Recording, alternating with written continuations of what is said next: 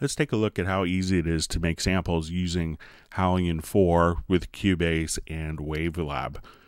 One of the things I wanted to do was to actually make a bass sample that actually included all notes on all frets of all strings. So I could actually pick different voicings and choose what string the note was actually coming from.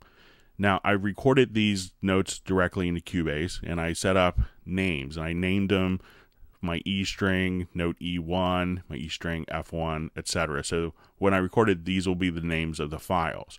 And I let it go for about 8 seconds. So if I want to start off, I could actually start with a blank instance of HALion 4. And what I could do is I'm going to select all of my E strings here. So all the notes are on my E string, and I just drag it directly from Cubase right into a program slot. Now I could have mapping options, and I have it mapped so that it'll automatically be mapped from the sample name. So when it sees E F2, that would automatically place that note at F2. So I'm going to hit OK. And now we can see all of our samples. Now I wanted to actually just call this jazz bass. And now I wanted to be able to treat my E, A, D, and G strings independently. So I want to put these into different layers. So I'm going to right click here Let's go to new layer. And we're going to call this E string. Now as I do this, I'm going to select the samples on my E string. I'll select the top sample, hold down the shift key, select the bottom sample, and let's just drag it right into my E string. So now on my E string layer, I have all those samples. Now let's say if I actually wanted to do sample editing, I could come right over here, use my scroll wheel, I could select a particular sample, and then under the editing, we have our mapping tab selected currently. I could go to my sample. Now, I have all sorts of great editing options directly here in the sample editor, but under options, I've also set it up for external wave editor to open up in WaveLab. So now when I come over here, I can now right click, go to sample, and I could open in an external editor that will launch the sample in WaveLab. I can now just come over here, do fade outs or make it louder. And at that point, once I save, it's automatically carried directly over back into HALion. So great integration between both Cubase, WaveLab, and HALion.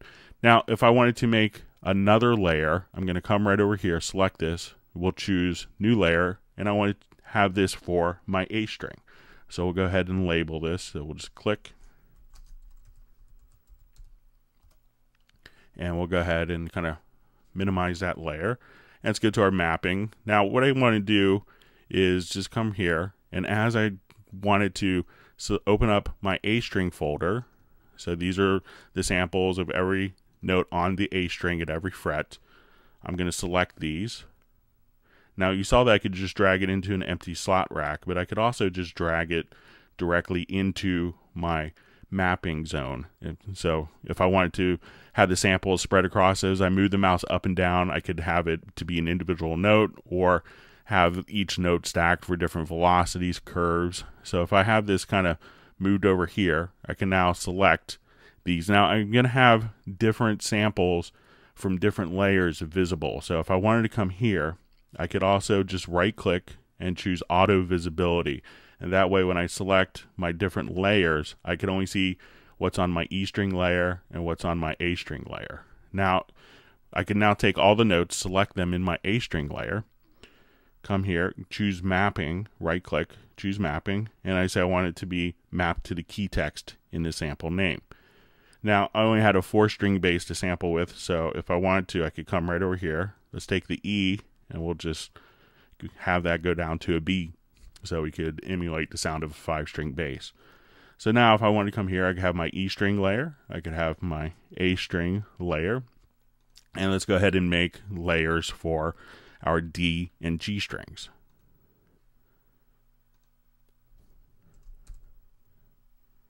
So we'll call this our D string.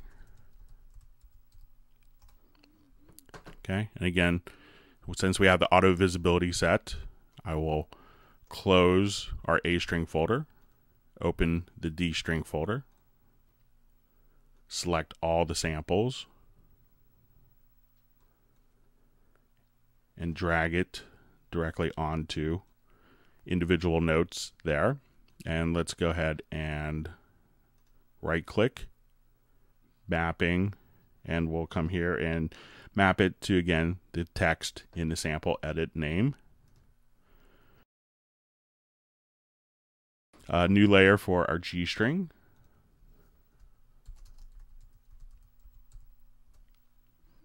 And do the same exact thing.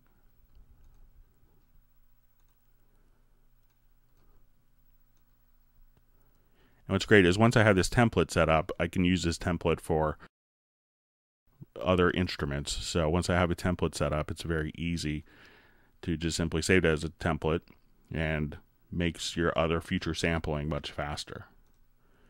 All right, so now I'm going to have my E string layer, my A string, D string, G string. Now, I could I want to be able to kind of intelligently switch between these, but I also probably want a layer of chromatic so I could play all the notes. So what I want to do now is we'll create two new layers, and I want to create layers that will have uh, open string voicings as well as all fretted string voicings. So we'll call this open all notes. And what I want to do now, instead of dragging from my project window, since I have these samples defined, I can now come here and I could just select the samples right here. So now I could open up my A string tab and we'll select the samples.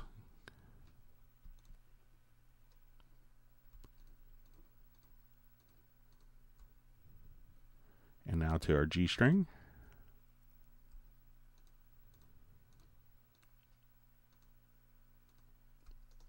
and I'll use some, I'll just kind of alternate notes between the higher two strings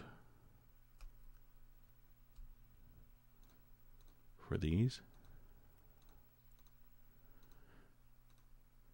Now what I could do is, since I have these selected, I'm going to copy, and I could go to my open all notes right here.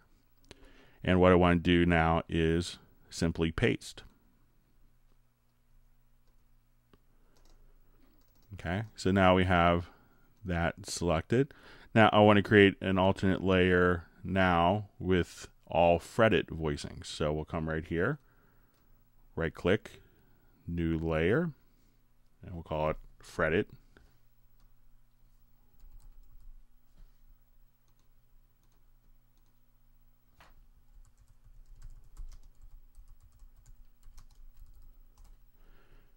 And again, I'll come right over here and I just want to go up to, let's say, like the seventh fret on the instrument on each string. So now we'll open up the A string.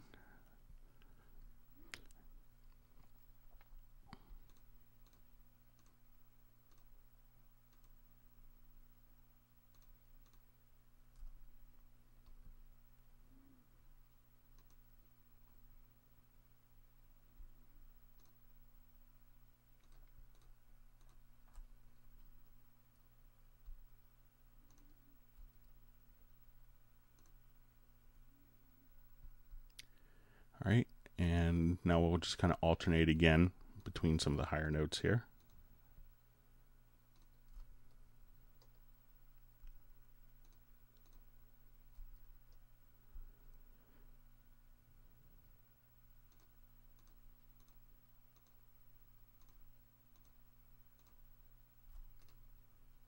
And again, copy, right click. We'll go to our fretted voices all. And again, paste. So now we have all this set up. Now, what I want to do is now be able to intelligently switch between these different sample layers. We don't have to necessarily set up very complicated scripting, but what we can do is add what we call megatrig. So I'm going to set up different megatrig conditions. So I'm going to come over here. Let's go to, let's say, my open strings. And what I want to do here is we'll create a new right click, new MIDI module to Megatrig. And as we do this, I'm going to come right over here to my MIDI modulation. Now I can set up just about any type of MIDI condition and up to eight different Boolean variations. But I just wanted to set it up for a simple key switch. So I want a note key switch. And I want this to be C0. And I can set up very complicated scenarios if I wanted to be a C0 key switch with velocity between 40 and 60 when my modulation wheel is at 127. I could set up scenarios like that. Now let's come over here and let's add a new key switch right here. So we'll say new megatrig and we want this to be, let's say D0 key switch. And you could actually see that as I add the key switches, these will actually turn this yellowish color. So this will indicate that this is not a note that's playing a sample, but a note that's used as a key switch. And let's come right here and say for my E string, and we'll set up a couple more of these mega trigs. So again, no complicated scripting, just very easy to come right here.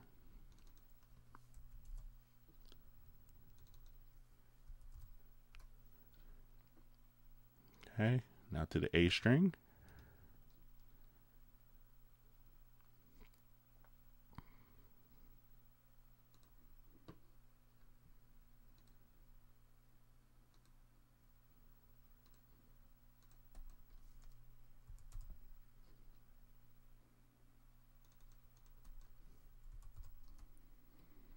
Just set two more mega megatrigs here for my D and G strings.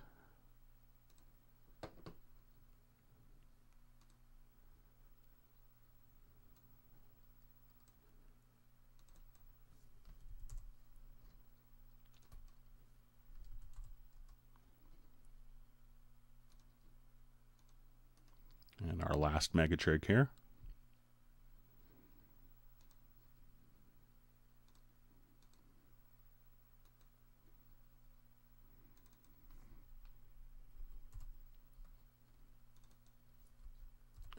All right, so now we have all of our megatrig set up. And now what I want to do is actually just simply save my program. So as I come here, I'm going to right click. Now I could export this as a VST preset with all the samples. I could export just the samples, but I'm going to come right over here and say we'll do a save program. So we're going to call this uh, jazz bass with one Z. And I could actually come here and I could actually put different subcategories. So I say, okay, I want this to be an electric bass. Um, and I could actually kind of put it different categories or different characters. So if I say, okay, I want this to be clean, and I want this to be uh, electric, and I could put different character tags with it right there. And now I'll hit OK. And now that I have this created, I'll go ahead and remove the program. Come right there, and I go to load in HALion 4, and I'll just say we want to be. I could just actually type in jazz like that. We'll now just drag this or double click. It'll load up the program and it's automatically going to assign it an electric bass icon right here. And now when I come here, I could actually just take any MIDI track that I have and I'm going to set this up for my jazz bass. Now, since I've created the samples in HALion and it's a VST 3.5 instruments, one of the great things is I can now just choose to import the key switches and this would automatically open up all the key switches that we've come and selected right here. So now if I actually wanted to kind of audition some of the different elements and sounds, I could actually just come right here and as I play different notes, I could say I want this G to be played on the G string, like an open G string. Or I want it to be played on the D string. And you can hear there's different tones or the A string. Or just my uh, E string. So the same note, but really, really different tones. So now if I wanted to listen to this, I can now just kind of now play.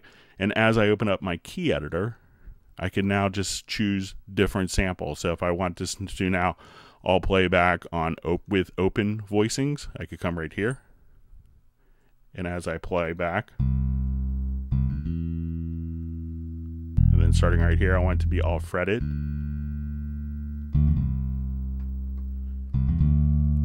Or I want these all to be on the E string. So very, very easy to make really high quality samples using the tools in HALion 4, Cubase, and WaveLab.